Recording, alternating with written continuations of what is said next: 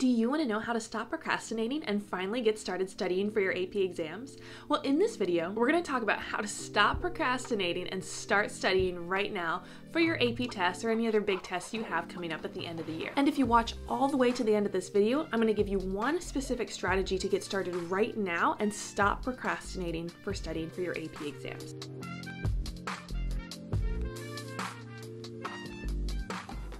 Whether or not you've started studying for your AP exams this spring or you're waiting and you still haven't really started, I am here to get you going with more tips for how to get the ball rolling and be even more productive with your studying schedule for APs. Now, if you've waited to the last minute and you only have a day or even a few hours before your AP exam, be sure to check out some of my other resources, including how to cram for a test in one day and my last minute crash review if you're taking AP biology. So let's talk about how to stop procrastinating for something big like AP exams at the end of the year. It is really really easy to procrastinate, especially if you have done it in the past. Procrastination can easily become a habit, even if there's something that's really important that's ahead of you. Some people can even procrastinate by doing other work and other unpleasant activities just to avoid the one thing they really don't want to do.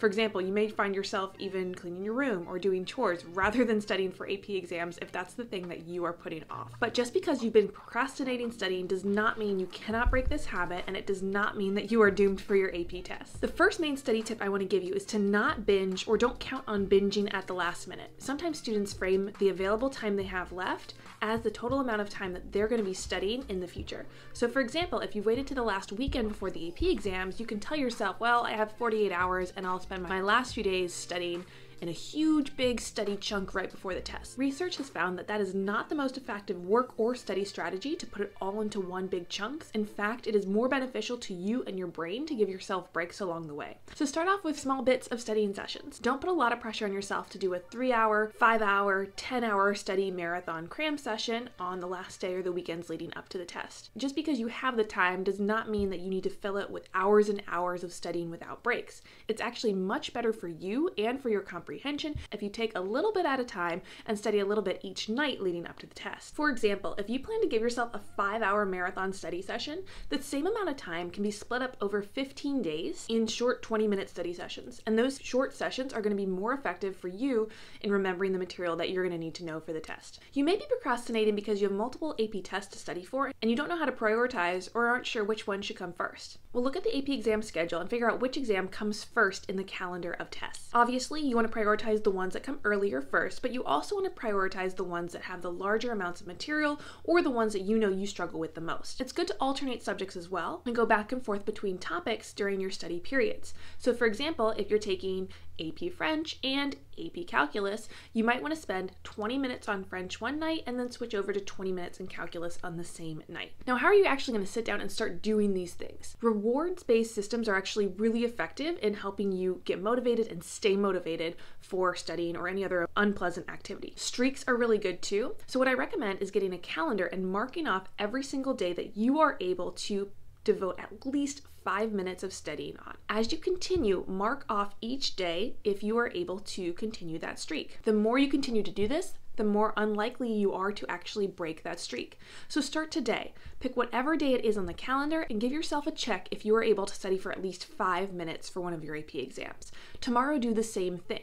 The next day and the next day, continue this activity and make sure you actually physically mark it down in a calendar or on a sticky note somewhere. That act may be enough reward to actually stimulate your brain to continue the streak all the days leading up to the exam. You can also give yourself other mentally pleasing rewards, including a small snack that you enjoy, being on a social media site or TikTok or YouTube for a certain amount of time after you've studied.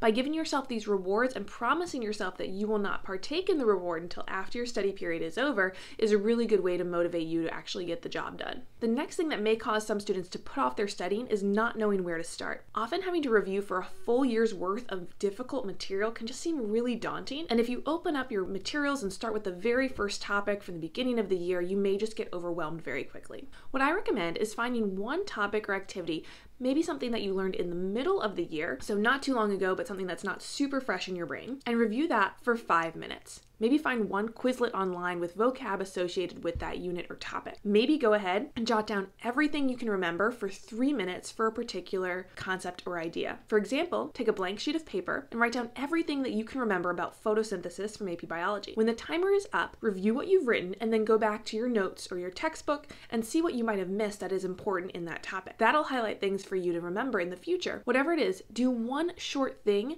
it doesn't matter what it is within the scope of your course, but as long as you get started with something, the more likely you are to dive into other topics and continue your studying process. You also want to make sure you're studying strategically, so your brain is more satisfied by reviewing materials that you know well and things that come to you easily. Obviously, that makes you feel confident and makes you feel like you understand this tough material. But you're going to benefit more from studying things that you obviously find more difficult or things that you don't know. High achieving students often overestimate the things that they don't know and underestimate the things that they do know well and devote more time to studying the things that they actually know pretty well and less time to studying the things that they know less well. So you want to balance whatever you're studying with things that you know and understand well because that is psychologically comforting to be able to study those things, but also with things that are difficult and that you know are going to be challenging and hard for you to study. The brain doesn't like to work and like to try to understand difficult topics when there's other topics available that can be easily reviewed and are more satisfying because you're going to get those answers right. You want to mix up your studying with topics and ideas that you find likable or easy and topics or ideas that you find difficult or that you dislike. By alternating between those two, you're giving yourself the benefit of studying materials that are going to help you and your brain is going to be satisfied with your studying process. You also want to remind yourself that when you're about to procrastinate or do something else in lieu of your studying activity, that present you is going to benefit, but future you is not going to benefit from that procrastination. It is really hard to put the needs of our future selves above the needs of our immediate selves. Do your best to prioritize future you and not immediate you. You can maybe bribe immediate you by saying, okay, I'm going to sit down and make a nice cup of tea and play this favorite song while I study. So we're doing something fun and something we enjoy while we're doing that difficult thing that we don't want to do. But the more that you're able to prioritize that future version of yourself and ignore the wants of your present self, the better you will be set up for success on your AP exams. Another trick that I have to beat procrastination when you're studying for your APs is to trick yourself into doing work. And you can do this by combining some sort of study method with another activity that you would either rather be doing or an activity that you enjoy. For example, forming a study group with friends and sitting down and hanging out with those friends while you're studying and reviewing flashcards could be a good way to combine those activities. You could also put on a podcast or listen to a video as you go on a walk or complete some other task that you wanted to do, like a chore, for example. By tricking yourself into doing a different activity along with your studying, you may be more likely to do more studying in the long run. Lastly, you may want to separate yourself from other distractions in order to not procrastinate. Sometimes having the constant notifications and alerts that we're exposed to can cause us to put off our studying in lieu of other things that seem more appealing. What I would recommend is isolating yourself and using only one device at a time while you are studying. So, for example, if you're reviewing YouTube videos on your phone, put your computer away and turn off the TV. If you're studying with your computer, make sure you put your phone in another room or another place where you can't reach it and hear those notifications. Take off your watch.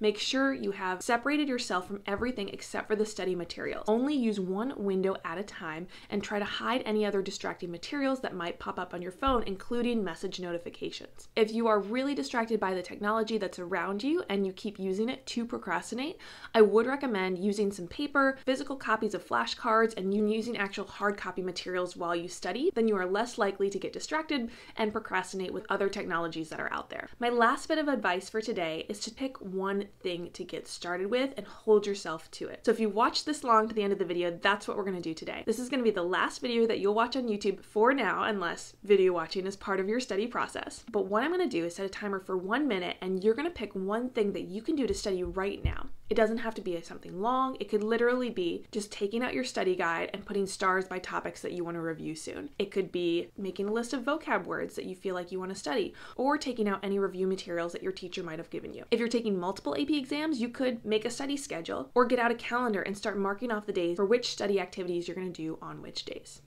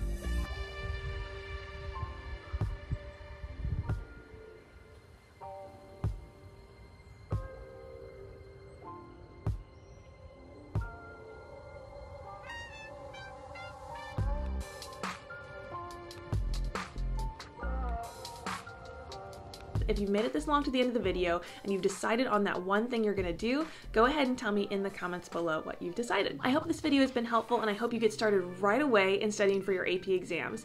Thanks so much for watching. Give this video a like if it's gonna help you study and I'll see you later.